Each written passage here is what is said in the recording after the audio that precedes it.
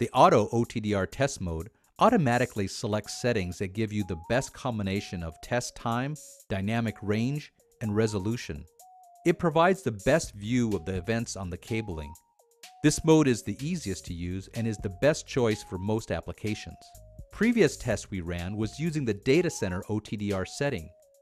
We need to tap the test setup navigation panel to change the test setup. Tap Auto OTDR and tap Use Selected. Now simply tap Test, and the tester will determine the best setting to use for the fiber under test. Make sure the port connection quality is good. If it's not good, the tester's ability to properly analyze the fiber may be impaired. The all-new Event Map feature eliminates the learning curve in reading an OTDR trace.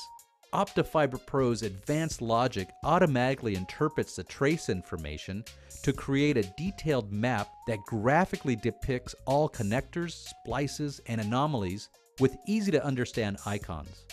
By tapping on any of the color-coded icons, red green for pass-fail, we can view the event's summary information.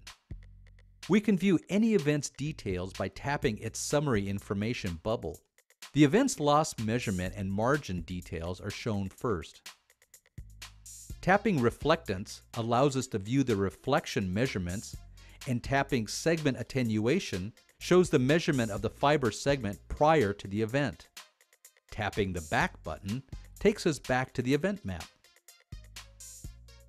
Now we'll go back to the trace.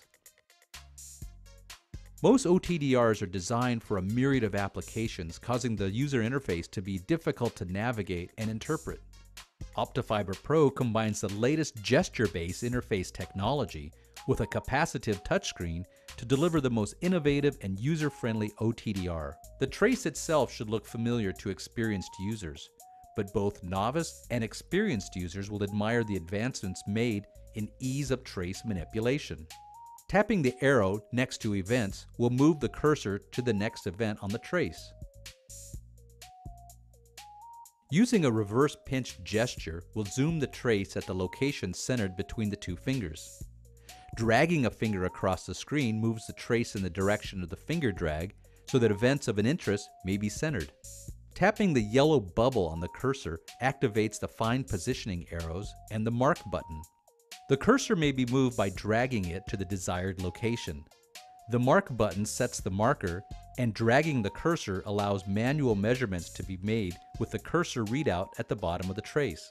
Double tapping the trace will unzoom the trace.